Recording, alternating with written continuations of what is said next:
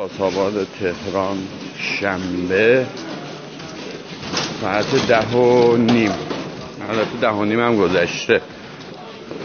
تعدادی از کاسبا اعتصاب کردن و مغازه رو باز نکردن. این داخل پاساژ رو نگاه بکنید تعدادی از مغازه باز نکردن و همینطور تو راسته بازار. به نظر من این اتحاد می‌تونه با چند روز مداومت و پیگیری جوابگو باشه. شما ببینید.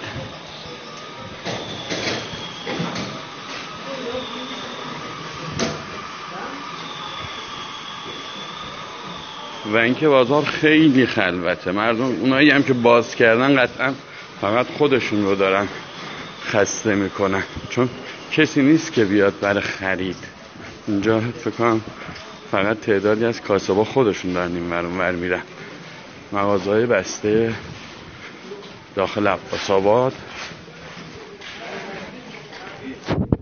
همینجوری ادامه داره.